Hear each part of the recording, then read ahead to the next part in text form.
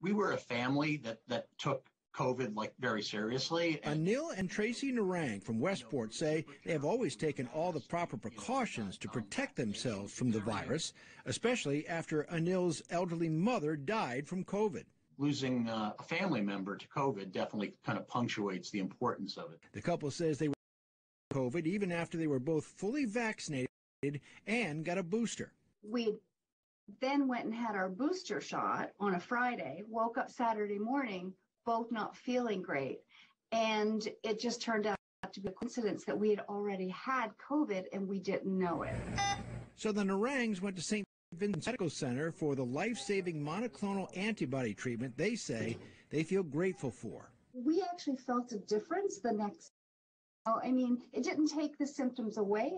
It just kind of um, kind of put a, a, stop on them getting worse. The Narangs say the treatment was quick and painless, and doctors say the antibodies are most effective for the people who receive in the first 72 hours after acquiring the infection. Doctors at St. V say the intravenous treatment has minimal side effects, but say they are seeing a spike in the number of patients getting it. Our numbers for every week, we're doing 350. Now, thanks to the monoclonal, Narang say this will be a much happy Christmas.